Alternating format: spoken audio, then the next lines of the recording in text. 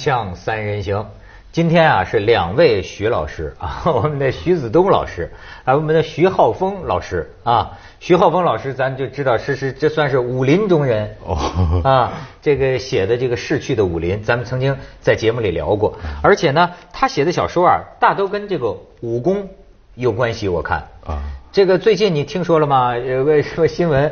天山论剑，说十几个武功门派的这个掌门呐、穿着各种各样的传统服装，就上那个论论剑去了啊。比武去啊？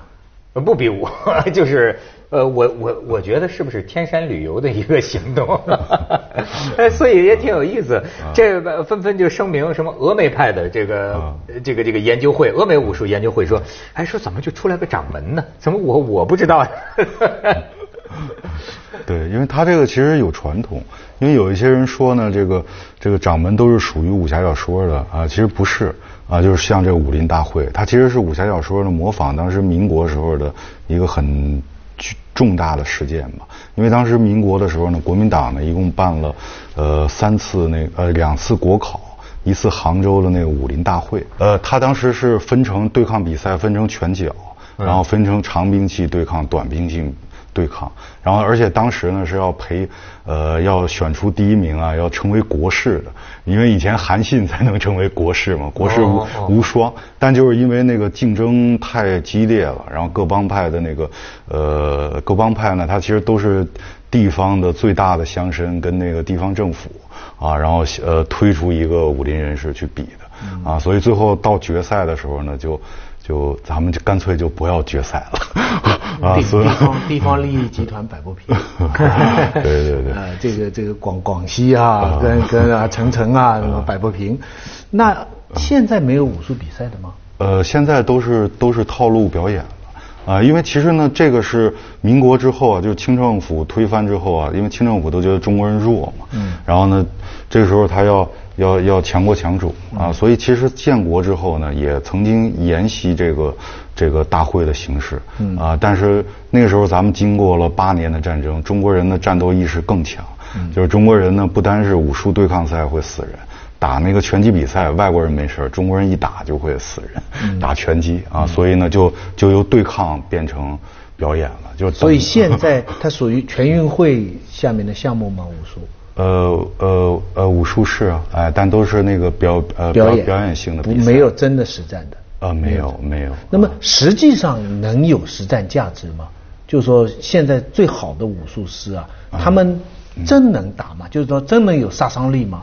呃，它杀伤力其实是很强的嘛，因为等于现在呢，练武术的人呢，因为网络的原因啊，开始有一些福音了。最近网上的福音呢，是把当年呢，大概是五十年代有一个杨氏太极拳呢，就是他只身到泰国去开拳馆，那个人呢叫董虎岭，然后呢他。打的那个录像呢，当年是拍成电影了，拍电成电影，但是一直作为秘传，我们都看不到。现在在网上公布开了。董虎岭呢，当时呢就是在泰国的银行里边呢，用太极拳击败了两两位泰拳王。哦，就是，而且你一看他打的那个太极拳呢，就就完全就像一个一头老鹰在在空中低旋的这种这样的一个太太极拳。啊。那么，那么像那些电影里反复出现的，比方说峨眉派啊、少林派啊，跟一个西方的打拳击的这种人的打，那那是实际上从来没有出现过，是吧？这都是呃不不不，虚构它实际上是出现过的。呃，包括在清朝末年的时候呢，那个清政府啊，他他因为当时不是山西的那个那个镖局嘛，啊，他们山西的呃镖局的镖师都是很厉害的，然后就请了一个那个呃镖局的这个。呃，老大吧，然后他本身也是乡绅啊，然后这个人呢，姓就都称他为车二先生 啊，然后呢，他是那个在天津，就把他请到天津那儿去击败了日本天皇的御用武士，然后呢，清政府呢还专门给他立了一块碑啊，就是呃给他立的算是五品军功，哎，这这一场比武，哎，而且你看现在呢，这个以色列的特种部队啊，还有那个俄罗斯的克格勃呀，他们训练的时候，其实训都是那个训练中国武术的项目啊。我有一个怎么说呢失望，就是这个失望呢，就是呃武术大呃这是是什么体育学院武术系呃毕业的一个武打的一个明星，他讲的啊就跟咱们武术的这一套不一样了。他听了我说之后，他就说，他说实际上我跟你说也没有这么悬的，就比如说体重。你个体重两百公斤的，你肯定打不过体重一百公斤的，就在双方大大体一样。一百公斤打不过两百。对对对，一百就是轻的，你轻量级的，你肯定打不过重量级。他说这是个很简单的这个这个这个道理。嗯。哎，你看他就是这么来理解这个问题的。对。但是如果练出穿透力就不一样了，就是如果你这你如果按照体重去打，它有一个，但是如果我练出穿透力呢，它就等于我拿着一个匕首跟一个赤手空拳的打。呃呃，这就是老年人可以打年轻人，体重轻的可以打体重。武侠小说里常常出现的这样的情节，但实际生活中有没有这样的人呢？出来表演吗？嗯，那李小龙就表演过呀，就是他表演的那个寸劲儿，他就是穿就是穿透力啊。啊，你比如说有人就说了，说是李小龙要是跟一个体重比他大一倍的拳击运动员打。嗯。他打人家一下没事儿，人家着他一下他受不了。呃不不，他打别人一下，那个人就得趴下，因为他的穿透力直接一上来就就穿透他的内脏了，那就不我我一拳把你的肝打坏了，你还怎么跟我打？能像他这么打拳？呃，起码我的演员就是我拍过两部电影嘛，我的演员那个于承惠于老他是可以的。呃，就是因为他跟年轻的我们组里年轻的小伙子就是试过手嘛啊，然后呢，包括。这个，呃，因为穿透力它可以弄得很慢，然后放到我如果是很慢的放到你那儿，稍微做一点力的话，就年轻人就受就受不了，啊，他那个力力量就到里边去。那就等于是有气功嘛，就是说。呃。他是你说气功也可以吧，说一种特殊的用力的方法也可以。对，你看，我觉得我们所理解的是一种，就说好像物理学，就有有有的时候，其实拳击运动员也需要练这个，等于说你能不能把你这个体重悠起来，集中在拳头上，这么当然是有劲儿。但是好像还不是你说的这种穿透力。啊，呃，他因为这个武术它是涉及到一些秘诀的东西，这个不能讲。啊，然后，但是我可以做一个比喻吧，因为但凡呢学拳的人呢，老师要要为你的一生考虑嘛，就是如果你落魄了怎么办？所以一般学拳呢，老师会教给你一些杂耍，就是说你没钱了，你可以到街头卖艺啊。然后你看学的一个最基本的杂耍呢，就是我拿手可以啪把一个。砖砖头给打劈断，对，哎，它里边其实有一个很巧妙的一个力学的一个东西，就是说，所以它那个穿透力呢，你要练出特殊的肌肉啊跟韧带，但是呢，它它还是很科学的一个一个力学的方法。啊，对，而且呢，就是。这个劈砖头的这个方法呀，那个如果这个学生的领悟力好的话，他可以用到那个实战上。这里边是有他的力学道理的，但是呢，它是通过几代人这样揣摩出来的，他就必须得有得传给传人。那么从武术的发展来讲，现在只有表演没有实战。会不会长久会妨碍武术这么一个啊。它的实实战的价值，它的它的包括它的人文跟艺术的传统？呃是，然后呃但是呢这个是指的在普传的方面，嗯，然后在所有的那个真正的传人那儿呢，所谓传人就高人那边就不断的，他是一定要实战的啊，然后而且呢实战是。呃，但他们在什么场合来实战呢？呃，其实就是在家里，啊，就是在家私下私会，就是私会，私下就不能有合法的一个场合来让他们。对对，你看，包括真正的太极推手这个东西啊，它不是说咱俩这样，这么这样推，呃，搞搞力学。它这太极推这个推手的原理什么？就是说，大家都是玩那个大杆子的人，玩两丈长的兵器的人，然后呢，这个。啊，你把我打败了也不好，我把你打败也不好。然后你到我家里来，咱俩啪这样一碰，其实那个劲儿都是大杆子的劲儿，是一个两丈长的兵器的劲儿。然后啪一碰上之后，哦，你的水平我知道了，我就啊，就他他是他是这样的。呃，也会会也也有伤人。对对，如果控制不好，就就会伤人。所以为为什么有的时候啪一下，呃，光是手，咱们碰完之后就就不敢接着往下比了。这这也是武侠小说常有的那个桥段，那就是有现实根据的。武侠小说常常有这样的情况嘛，对面稍微懂文是不懂，这边已经知道。不在一个层次上，不能不能 不能。刚才张牙舞爪，现在知道不行了，对不对？对对对，有的有的。咱们去下广告，锵锵三人行，广告之后见。对。这个一看见徐老师，就老想讲讲讲武功啊。其实人家是北京电影学院正经的老师，而且自己也拍电影。所以我说啊，其实可以讲讲现在的这个中国电影。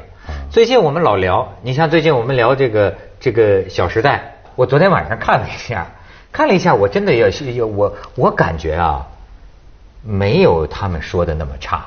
这个《小时代》，咱就说句，你看那天我现在我提了个话题，我说咱们有没有冤枉？我批判《小时代》那集还没播呢。张艺谋对，好，我现在再说啊，也许呃，过去我在没看的情况下听他们很多骂成那样啊，我看了之后呢，我真的觉得还可以了。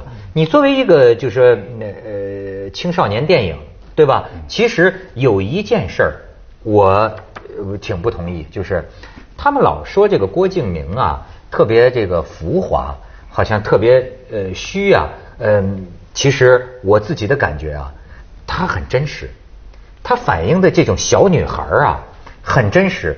我敢肯定啊，就是就这个小女孩就爱看这个电影。因为就是小女孩聊天的内容，小女孩啊，就是谈恋爱就是互相吃醋，对吧？她很真实，你可以说她不深刻，不不不高，但是太真实了。你像，而且她提出的这个概念，就说，呃，这个在无边的这个黑暗当中，我们每个人就是个小小的星辰，一个小小的感动。你比如说，对于高中生来说，也许姐妹们一块儿为了一个比赛啊，大家呃出了把力，那种友谊，呃，那种或者为了谁的男朋友。那大家互相帮扶了一下，他们的生活可不就是这个吗？你还那赤着脚从高速公路奔下来，那是没赤过脚的人才编出来的桥段。你要赤着脚去奔一下看看，那几个小妞儿，开玩笑的，真是个鬼啊！我跟你讲，你。那是他想象的浪漫，对对对。那这种浪漫，但他自己要脱了鞋在高速公路去奔一圈，他就知道了。对，那我觉得你这个用来对对对这个郭敬明的这个要求啊，是有点这个老人要求小孩了。就是就是大家呀，是因为先不喜欢郭敬明以及他的小说以及他代表的东西，所以把这些东西啊全放到一个电影里来。不是他的电影浅薄，这个大家都公认，但是比较可怕的是这个浅薄真的真实。就是你周围生活当中的人真的这样浅薄，这个才可怕的不是他的电影，可怕的这样的电影还真反映了我们这个时代，这才是大家比较不舒服的地方。真的就像里面，所以我说他很真实啊，在这个意义上很真实啊，他拍出了就是这种小女孩的梦啊。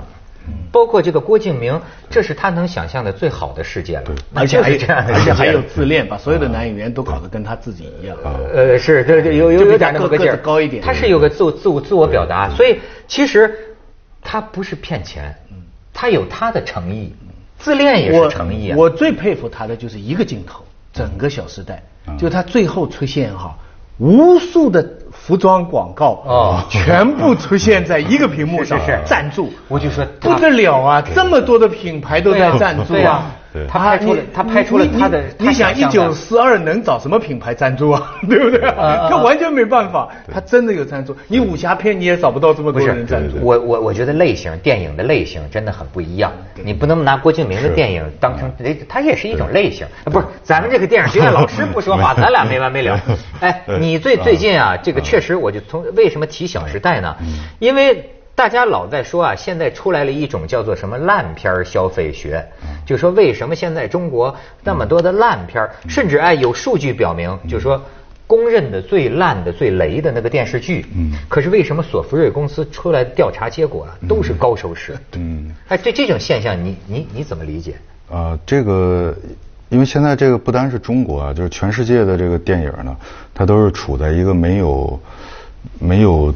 没有正餐的一个时代啊！你看，包括咱们非常热衷的，就是拿价值观呀，拿这个时代的问题啊来评论这个《小时代》啊。但是可能《小时代》呢放到国际影坛上边，人家一看呢，就是说啊，这就是一个小妞的电影。哎，小女孩的电影。对，就是他他他其实就是属于是。属于是那个一个电影文化里边的一个配餐呀什么啊，就是年轻人看看高。美国的大西洋杂志评论他说是一个畸形的中国梦。呃，我认为，我跟你讲，我我看了《小时代》之后，我必须说，我认为《大西洋杂志》的这个报道啊，严重了。是吧？太严重了，就是说这个这个说话的那个严呐，严重了，就有点，甚至我就觉得我很怀疑这个记者是个什么人，就是太上纲上线了，是个女的，一定。太上纲上线了啊！对，因为因为我们其实我们在电影学院，我当时学电影的时候，学完之后呢，现在实验来实践来拍摄电影，然后也是有巨大的一个惶恐，因为呢，现在那个。电影呢，跟我们学的那个完全不一样。对，哎，对，它就是它是另外一种。呃，你看，就是如果拿那个打保龄球来做比喻吧，最初的打保龄球，就只要你你把那个直线对准了，打中间那个一个直线扔过去，六个球就 六个球就下去。对，哎，但是呢，你打了深了之后，你肯定不满足于这个，你一定说我我不打一个直线，我打一个弧线，然后呢，这个球是螺旋的，我是通过螺旋力把这个把。把这把这个都给都给打倒啊！这是玩保龄球的乐趣啊！其实我们当时受的那个电影观念呢，都是让我们打这个弧线啊。叙事艺术呢是是折射的艺术啊。然后现在呢变成什么东西都要直讲啊。然后呢这个叙事艺术、电影啊、小说，它其实都不是一个不是一个逻辑的艺术，就是而是一个诗意的、意会的。哎，但是现在呢，你看所有的剧组一开始讨论本子都是说逻辑怎么怎么样。对对对。呃，所以他是，呃，你学的是打弧线，然后但是时代要求你打直线。就是学的是太极推手，但时代要求拳击只给。时代是 还要先听制片人。制片人钱从哪里来？投资多少钱？怎么能拿回来？所以他们现在关心的不是把那个六个保龄球打下去，而是关心的这个球本身是金子做的哦，啊，这个不是木头做的哦，打出去的方法是不一样的哦，用这样的来宣传。对对对。然后这整个电影工业就是，对，然后你看像这个学术重点就又又开始转移了嘛。你看我们上学的时候，包括老师对我们那种要求，它其实是一个参悟式的那种学习，就是所有学艺术都是参悟式的。然后当时说这个电影，电影的艺术是空间的艺艺术，然后呢，你呢就。就要通过人物的情感跟那个人物关系的变化，你要通过空间的变化来表达出来。这个其实是挺难的。一般来说是学生到三三年级可能能够能够悟到这种东 这种东西。嗯。然后我当时比较迟钝嘛，然后就是悟的比较慢啊，感觉不好。但是后来等我悟到了之后，发现这个算是最高的一个学术重点。然后呢，在当代都都被清楚理了。呃是啊，这个时代已经不要求构图啊，呃，不要求这个空间变化，你只要有这个鲜明的形象的累积啊，或者一个很快的剪接节奏，你就你就可以成立了。呃，对呀，片场的排期，视听盛宴，呃，好好跟陈凯歌切磋一下。你像是我在台湾，他们讲这个就是那个叫什么青春，有个节有个青春片，九九把刀拍的那个。哦，对。啊，他很多他老导演也也也也也会觉得，就说时代改了，说这个片子。他也觉得没有什么不好，但是啊，那些年追过的女孩，他会觉得就是说啊，原来拍电影也可以很简单，就是只给那个电影倒还挺朴素。对呀，挺朴素。你要说挑剔，就跟我就跟《小时代》一样，你说你挑剔他的技巧啊、电影艺术啊等等，就不不就不必说，你知道吗？他好像不是说这个，但是呢。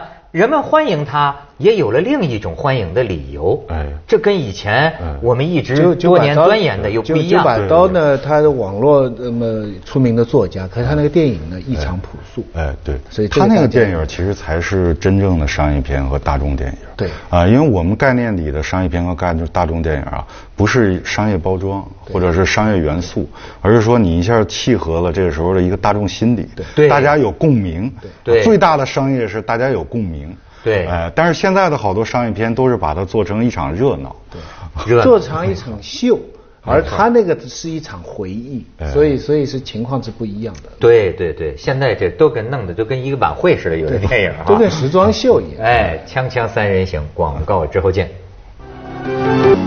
你看，对票房啊。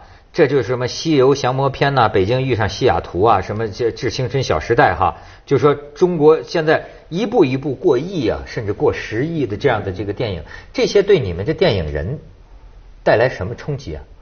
呃，就是让我们在制片方面前呢，更无力，因为因为中国呃怎么就是环境啊，它有一个呃，也等于以前的中国人呢，他办一个事情，然后几个人谈的特别，其实是大家在磨合一个分寸啊，就是一起办事的一个分寸啊。其实中国人呢是。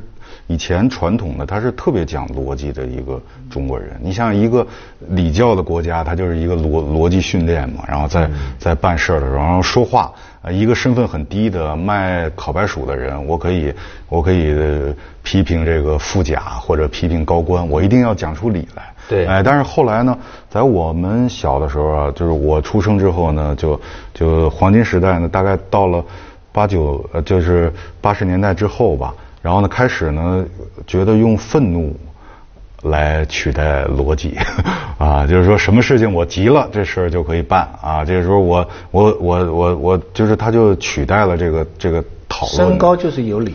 哎，对对，所以因为因为这个我因为我一直在思考嘛，就是说你看，包括在美国，他那个发明了电影之后呢，他其实用了十几年就开始。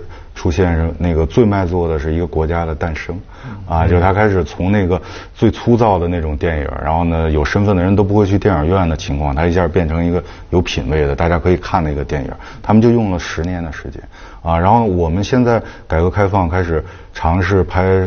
商业片呢，我们用了三十年的时时间，哎，但是为什么是现在这样一个局面？你照理来说呢，它不应该是中国这个人人种这个民族出现的情况，因为以前呢都是外来文化来了之后呢，呃，都非常喜欢中国。你比方说禅宗来了，一看，对，有大正气象，别的就不传了，传禅宗 啊，就是你你这个地方是有是有基础的啊，包括一些那个西洋绘画来。然后呢？而现在呢？我们接受商业片呢，好像我们是完全没有任何基础的一群人。对。然后我们从最低端的东西发展，而且时间还很长。对。其实钱越赚越多，方完全迷茫，方向就完全迷茫，彻底迷茫。就是好像对，跟以前历次的这个佛学传到中国的这种跟故本土的结合呀。相比现在就有点我们自己没有。不过不过制作人。接着下来为您播出《西安楼冠文明启示录》。要影院多，过亿赚钱最厉害，其实就是个抢钱的时代。